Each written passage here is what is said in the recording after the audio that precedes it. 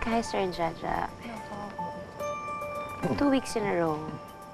How does it feel? Kung may question sa mind kung bakit po kami nandito ngayon, trinay namin na pag-usapan yung mga seryosong bagay, yung mga plano namin sa buhay. Nag-uusap na po kami ng mga ganong bagay simula nung na-counsel po kami na noon naman hindi namin pinag-uusapan. Doon ako nagtataka. Sa eight years together, why why haven't you talked about it? Um, um, let's say na lang po, pinag-usapan po namin, pero hanggang dream lang po siya.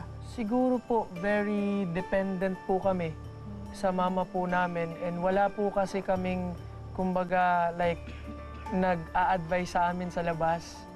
Yun ang naging basihan for this week. Yung observation mong yun, yung strong dependence nyo sa mama mo. Kasi hindi lang ikaw naman ang dependent, you're very close na, di ba, Jack? Opo. Paano mo mapuprove sa amin na talagang magiging totoo ka sa salita mo? Hindi ganun kadali kasi buong buhay ko nga kasama ko si Talaga? mama lumalaki. Pero bigyan niyo po ako ng chance. Hindi lang to para sa akin, para din sa future family ko eh. Ja, okay, sir. Wala kaming masasabi sa kung paano kayo pinalaki ng mga magulang ninyo. Because you became good persons naman. Ang sinasabi lang namin, sa pagbuo ng panibagong buhay, kailangan iset aside muna ang pagsandal sa mga magulang. Nakita niya kung gaano kayo kadependent sa kanya. And hindi nakatulong sa inyo yun. Kasi sa walong taon na kayo together, ngayon nyo pa lang yung pinag-usapan kung hindi pa namin sinabi sa inyo. You have to be your own person.